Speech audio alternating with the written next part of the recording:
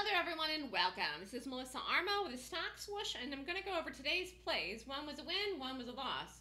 And I'm also going to talk about using stops because that is very important when you're trading. If you'd like more information, you can email me at melissa at thestockswoosh.com or call me at 929-3200-GAP and follow me on Twitter, Facebook, YouTube, and Skype. So overall, you know, when I get up in the morning, I'm looking for the gap that I like the best. There could be a couple of gaps, there could be a lot of gaps, there could be only one. It depends. So today there was a few. Uh, this E trade worked initially.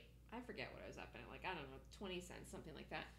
But then it flipped, okay? It held the stop all morning. I'm just going to go this here. The stop was 59.20, okay? So the, we had the stop at 59.20, and we got taken out over 59.20. I want to point out where the stock went. Tippy, tippy, tippy, tippy, tippy, tippy top, like 59.80. So the stop moved 60 cents. Not a small move, a big move over where we, I mean, the, the stock moved over the stop 60 cents plus where we had the stop. So it, it, and it could have gone even further, okay? It could have gone all the way up to 60. Could have even gone, could have gone a dollar plus over. Now, what's my point? My point is that a stop protects you where you have a fixed amount that you choose that you risk and a fixed amount that you lose in the trade if it fails. So this first trade failed. I did not retake it. If you did retake it, the second trade worked.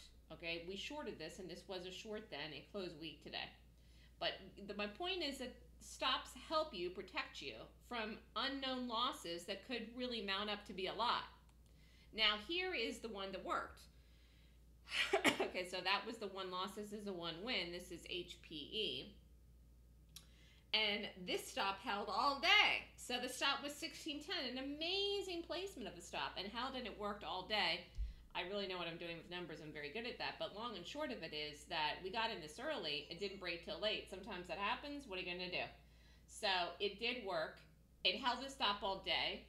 And it's important. Why? Because if we did not have a stop in the other one, then we might not have had a possible profitable day with one winner, one loser. Because you could, it could have been a wash, or it could have been um, a loser. It might not have been up, but because we had the stop in, it was a profitable day. Because even though this came down, I know you're going to say, well, this came all the way down. It's true, it did come all the way down. It came all the way down, and we actually could have got the trade break even with profit here in, this E trade if you held it all day. But that's unusual. You know, it's unusual. The point is that this theoretically, once it lifted over the high and this big, fat, massive green bar lay here, could have gone crazy. So that one lost. This one worked. And here's what it amounted to. So lost in E-Trade 2100, HPE 3570, total 1470. So it was a 1470 in profit, one profit on the day of 1470 with one loser, one winner, and it's because of the stop in E-Trade. And that's the point I'm trying to make. Stops help you. They protect you. Stops are important because they're like the insurance. They protect you. If the trade fails, you only lose what you risk and no more. If you don't use stops, you essentially have unlimited risk, which makes no sense. That doesn't make sense for anyone.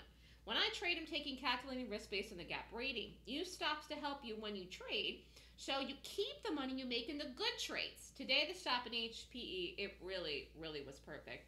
If I do say so myself, it held all day. Okay, so I'm very good with where to put the numbers and stops, and the targets too, and knowing the gap. But the one thing is that the preparation in the morning helps you determine the quality of the gap, the direction you want to go, where to put the stop, where to get out of the trade, where's the target. I teach a class. I teach all of this in the class. It's this weekend, August 25th and 26th, 9 to 5. Class tuition is $54.99 US dollars. The class is online. You can be anywhere in the world and take it. Email me if you want to sign up at melissa at thestockswoosh.com. Also doing the trends course on Monday the 27th, okay, 11 to 5. Cost of the class is $59.99. Class is online again. You know it's online so you can sign up. You save $500 by doing these both. I'm telling you that trading is something that you absolutely can learn. I mean these numbers i'm getting them off the chart. I you can learn this. You learn it in my class and it's a skill. It's a skill set. You do it do it do it and that's how you get good at it. That's how i can find these numbers so quickly and so easily uh, to help us take the trades and stay in the trades. But think about what i said today It is so important to use stops. It's calculated risk when you trade. You can't have unlimited risk, and that's how you're going to make money.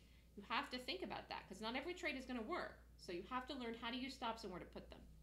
Have a great night, everyone.